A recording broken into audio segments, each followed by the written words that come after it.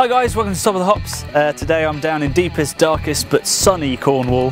Uh, and we all know that beer is about context, about where you drink it, it can change the tastes. Uh, and today I'm drinking Admiral's Ale by St Austell Brewery. Uh, and we're, we're nearby in the brewery, just down at the, the harbour. Uh, we've got a tall ship in the background, and you can see all the way to France.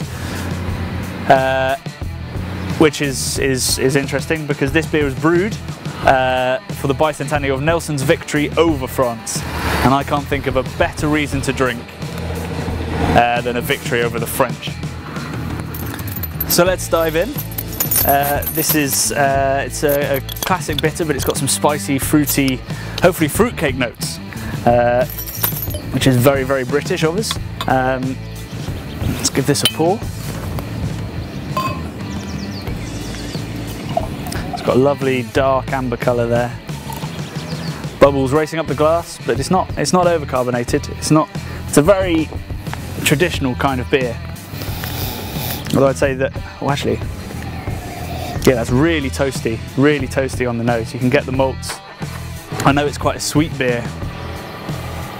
So I'm surprised that it's quite so toasty, but that's good.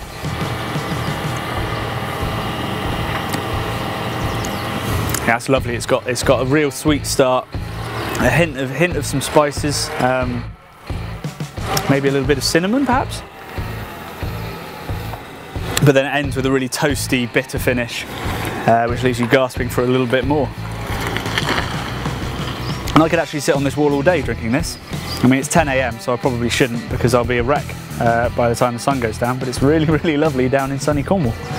Um, well, cheers to Nelson for beating the French, and, and cheers to St Austell. Uh, and if you want to see us cook a Cornish pasty with this very beer, just click on the glass. Cheers.